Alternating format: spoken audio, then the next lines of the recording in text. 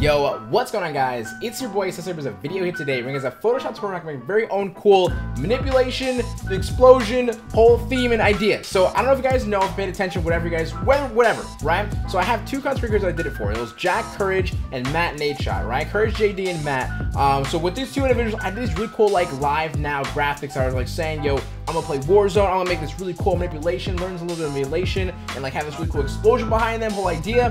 That's basically what you're gonna be learning in today's video. And uh, hopefully in the premise, you kind of learn the basics or ideas of manipulation. As far as I know, I'm not a master or uh, expert, but if it looks cool, I mean, hey, we got we're getting somewhere. So that's the whole idea behind this video here today. So I do hope you guys enjoy it. So yeah, if you guys did not know, today's video is sponsored by Envato Elements. Now, if you guys do not have any idea what Envato Elements is, it's basically like a really cool like graphics help when it comes down to like finding anything you need graphics related when it comes out of fonts, textures, patterns, assets for like, uh, like in this case, today's video. I use a lot of cool the 3D rendered assets, which by the way, when I say 3D render, you can literally change the rotation of the actual object that you want. So I think that's the coolest part for me that sold for me. I already had an Envato Element partnership, or excuse me, before my partnership, I already had an Envato Element subscription for around eight or nine months or so. So I already found use case for Envato. So I think if that, just for that reason alone, which what was sold me, okay? When it comes out, like go on Google, find like a cool stock, you're like, dope, this is dope. But then you have no sense of like changing the actual angle and you can't really find it or use it anymore. And you have to use a crappier version.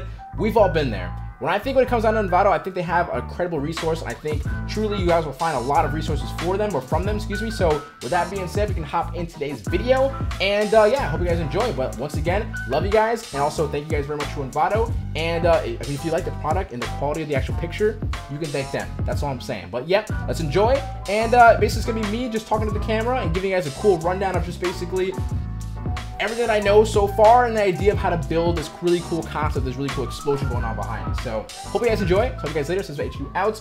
And uh, yeah, that's it. Enjoy the video. All right, homies, let's get this thing going right here, right now. So what I do have in front of me is the final image that I did for the, of course, when I was doing it on live stream and stuff. So this was about three to four hours of work. So look at the video length, okay? I want you guys to know something. By the end of the video, you're not gonna have the most brilliant, freaking amazing thing in the universe. You have to, of course, still spend time on the actual image itself. But I think in this 20 minute video in this sense, or however long, how long it is, I don't know, but in this video, you should have some kind of idea how to get to point A to point B, and of course, make point A, you know, let it go to Z. You know, you can get to the point of where you can kind of get the idea of how you can bring it there, right? So keep that in mind. Of course, the amount of more time you spend on the actual image and scene itself, the better it does come out. So keep that in mind, okay? So what I do have for us in this uh, PSD, of course, is the stuff that we got from Envato, right? So we have the mushroom cloud explosion. We have a cool little soldier element that I got from actually Google, um, just kind of finding the soldier itself. So what I ended up doing is I took a soldier PNG that I found. It wasn't a PNG. It was just a soldier image itself. I kind of just, I don't know if I typed in soldier stance or soldier in combat, whatever I ended up doing, but all I ended up doing is basically erasing his head, right? Of course, the surrounding body as well, but erasing his head to make sure I get right to where the neckline is and erasing the neckline as well. That way, you kind of have no neckline there and just kind of leads us to a really cool spot to kind of put our head for courage in a sense, right? Right dead smack on his actual uh, body, right? So given the body to head ratio, sure, it's not completely accurate, but it does look funny and cool um, and kind of gives the idea that, you know, you still get the idea that there's a head still there connected to this really cool soldier body, right? So then I have a barbed wire, which is kind of our foreground element that will basically be blurred out. So kind of like do this, right? Right?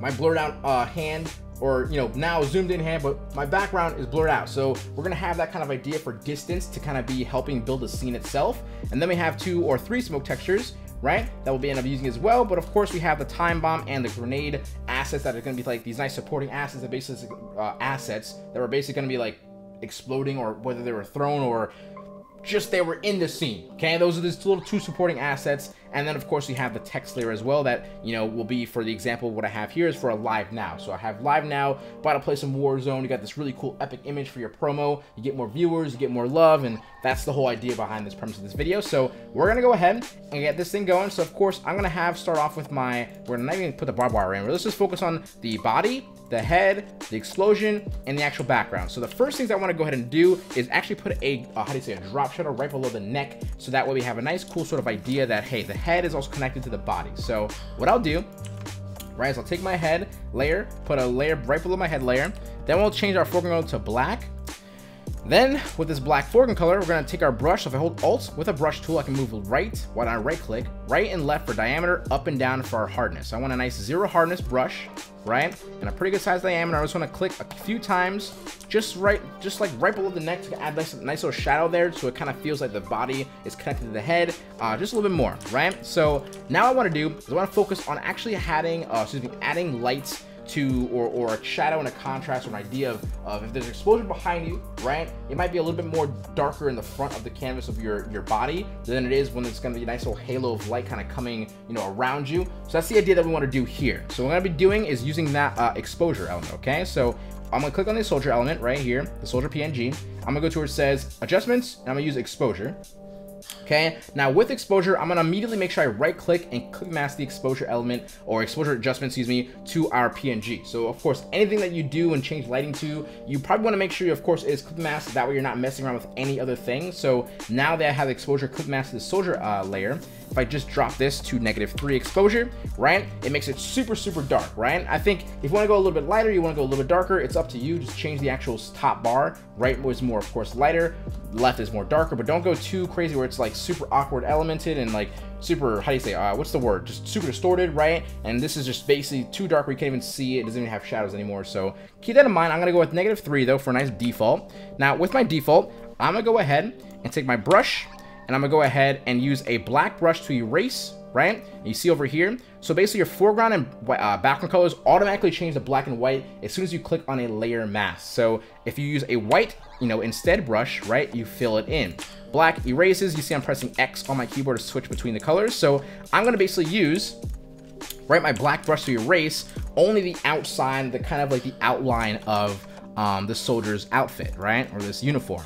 So I'm gonna take this, excuse me, get right in there and make sure I kind of like, you know, maybe just a little less in there, kind of like adding a nice little element of light kind of being surrounded over his shoulders and kind of like a halo of light going around. So that's the idea that I'm doing right here.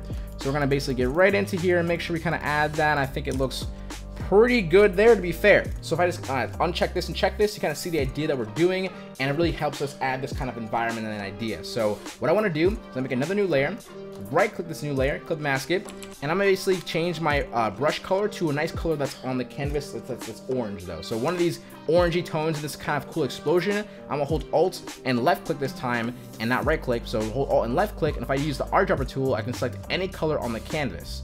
So select this one right here, now what I'll do is I'll take my brush, okay? I'm gonna make a nice little outline just as I did before, not too far in though, right? Just like so, right? What I'll do is I'll change this orange uh, blend mode from normal to linear dodge add. Now you can see it is a little bit too yellowish toned. What I will do is I'll press Control U on my keyboard on the actual layer itself. That'll bring up the hue and saturation table right? If I just take this now, move this to the left, I can get more of an orangey tone, right? I also can take my lightness, lower down to get a little less pigment, right? Or excuse me, a little bit more pigment in the sense of more darker of that tone. But if I want to move it towards the right, you will get less pigment towards that white kind of idea. So we want to make sure we want to keep the lightness pretty normalized right around here or so.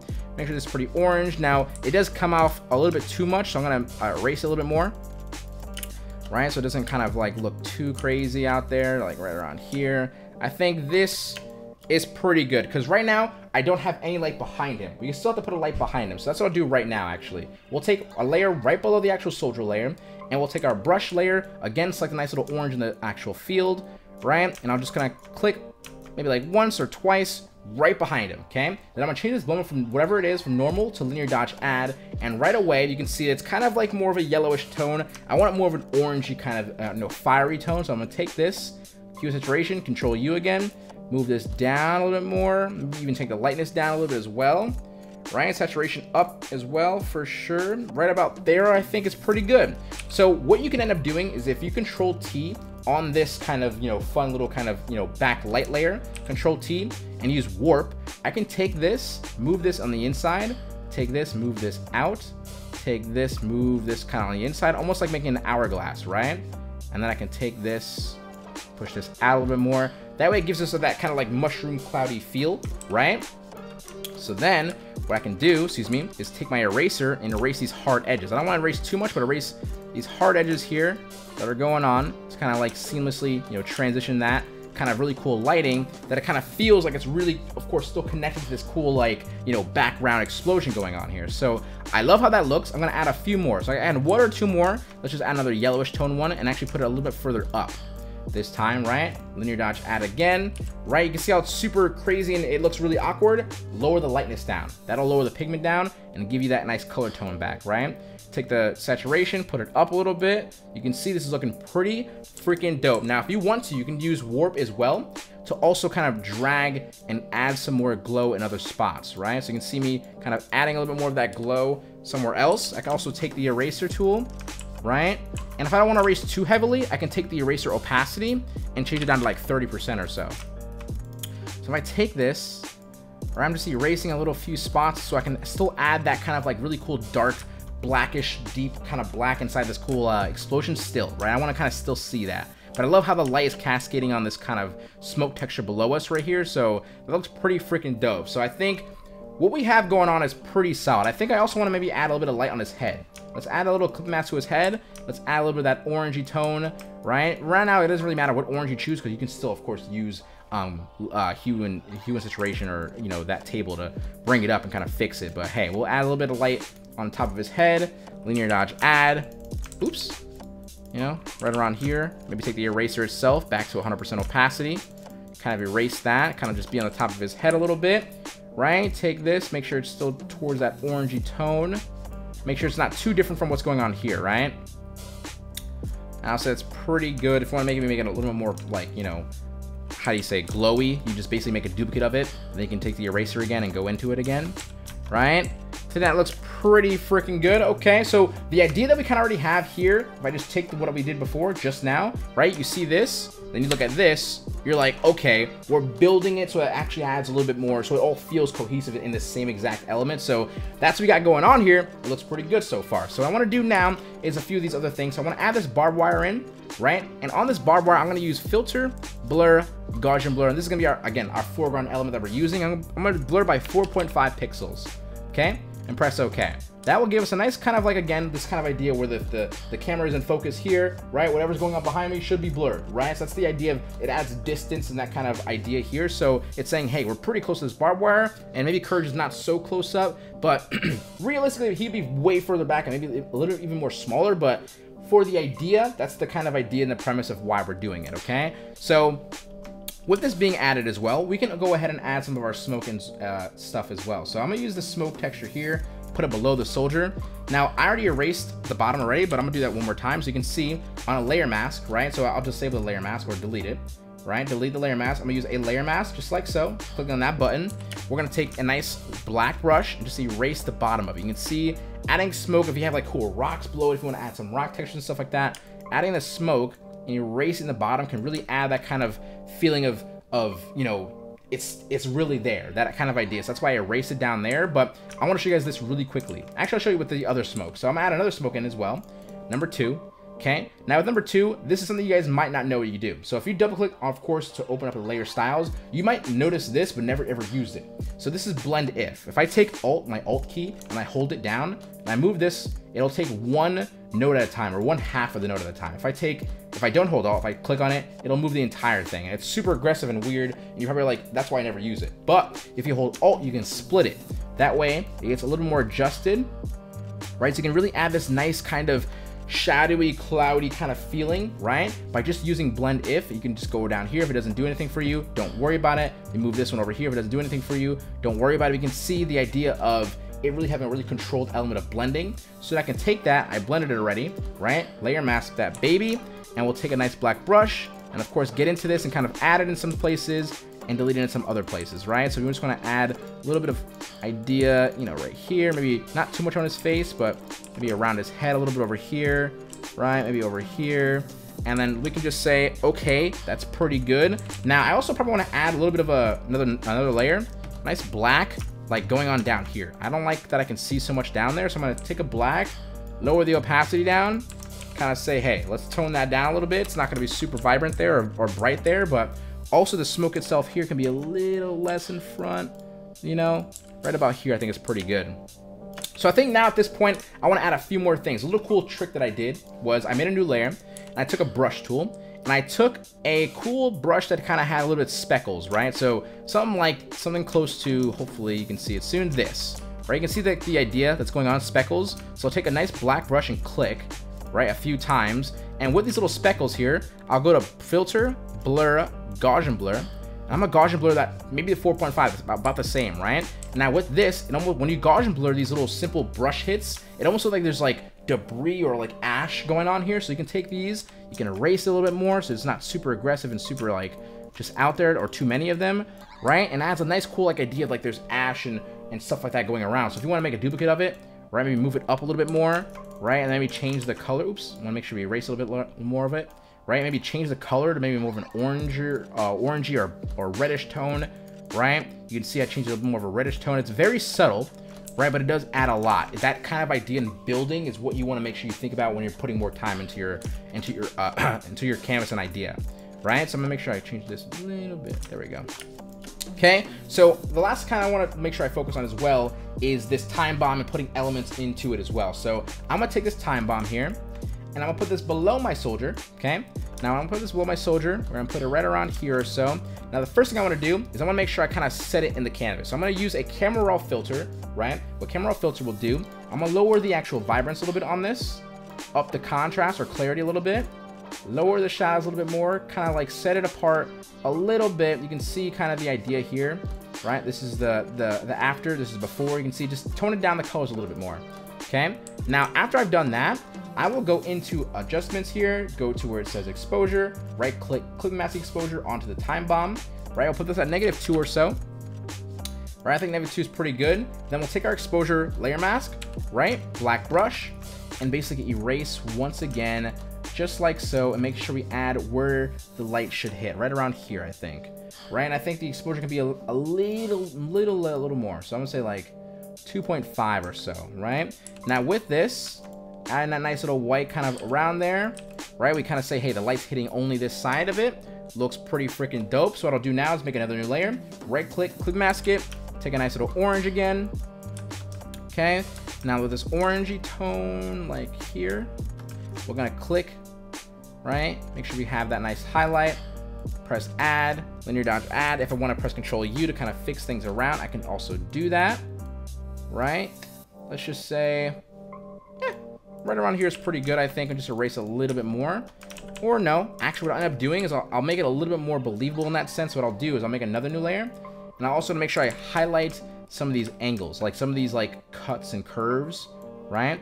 If I do that, if I change the linear dodge add as well, you'll see if I change the hue as well a little bit more, right? It adds just a little bit of that more believability that it's hitting that surface, it's hitting those angles, and it's a little bit more believable in that sense. And I think I think it looks pretty okay. I think the color itself needs to be a little more. I think I need a little more color. I don't think the vibrance should be that low, but right around here, I think. Right? And I think that idea is pretty dope. So what I'll do is I'll take the shadow, or the smoke, excuse me, that's above it, right? And I want to lower this down. I don't want it too much. I want to kind of still see that nice clarity of it. Hell yeah. Okay. That looks definitely a lot better. So I think what I'll do is I won't use a 100% brush. I'll use a, you know, 30% or so brush I'll go over it in some areas, but I'll make sure you can still see like the clock face. Make sure I click a couple times, right? That whole idea. So I think that looks pretty good. So I'll do the same exact thing, but with the actual grenade.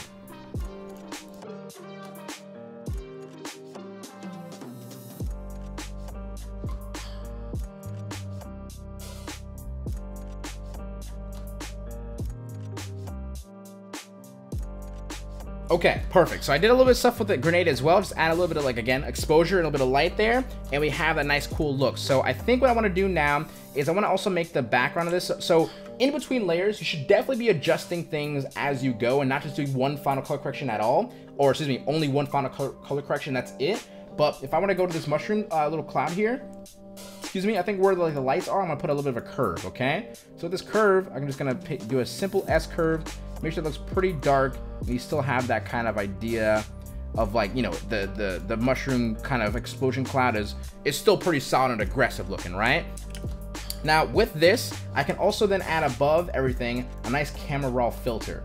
Or it's not camera raw filter, but it's color balance, right? This color balance is, I'll kind of like, kind of come take these colors and and really give them a, a sense of, you know, that's all in one scene. So if I just take this color balance and I add a little bit of red tones, magentas and blues and yellows and things like that, it can look pretty dope in the end of the sense. You can see this little adjustment here kind of like ties in all the colors together, right? Then I'll take Control, Alt, Shift, and E. That combination will basically make one single layer of everything in one composition and put it in one single layer. So now that I have this, I can go ahead and use filter, blur, Gaussian blur. We'll Gaussian blur by about two or so. I'll say two pixels. Okay, layer mask. I'm gonna make this completely black. So I'm gonna just go hold, hold Alt, backspace, make it completely back, uh, black if your foreground color is black, okay? Then I'll take a white brush, right? So basically what it'll do is take this white brush, so I have a Gaussian blur as the, the actual layer, you can see it's also adding Gaussian blur while I do that. So I'm gonna take a white brush, it'll add the Gaussian blur whilst I'm doing this, right? I'm just gonna add a nice kind of cool, like, almost like a vignette, I think it's called, or, you know, like a, not like using a black, but basically using a bit of a blur going surrounding the canvas itself and really having you focus on the middle. So now that we have that, I think we basically go ahead and finalize this by putting our text in, okay? And then we'll also do another one more thing, Control Alt Shift E, which is basically, again, uh, convert to a smart object. And we'll use filter, camera raw filter. And then with this, we go into this, press this little Y, before and after. I'll take the clarity, put it up, blacks, put it up, shadows, put it up, highlights, put it up, contrast as well, maybe a little bit of vibrance as well right? Maybe we go to the fourth tab for the hue, saturation, and luminance adjustments. We take the saturations of the oranges, bring that up a little bit, maybe even the luminance as well. Uh, maybe change the hue to be a little more like this or so. Take the saturation of yellow, make sure that's definitely like nice and aggressive, right? You can kind of see what we're building here. It's pretty freaking dope. We can add a little bit of clarity, um, excuse me, uh, sharpness, uh, and a little bit of luminance detail as well. Maybe a little bit of curves going on here and we'll take this top like histogram and we'll make sure that these colors are hitting the way we want to hit if we just take it and move it left and right right and I think yeah let's go with that let's press OK and I think we got ourselves a pretty cool kind of like idea of of this cool character and whatever kind of face you put on it, but in this really dope element of it's basically exploding. And I think we did pretty hit this like this pretty good idea here. So I think, of course, when you look at it from this difference between, uh, between here and here, you get more of the I feel of um, positioning, right? And like I also added like stars and other things like that. You can add different objects. You don't have to add barbed wire. You can add like a broken down car, or something like that.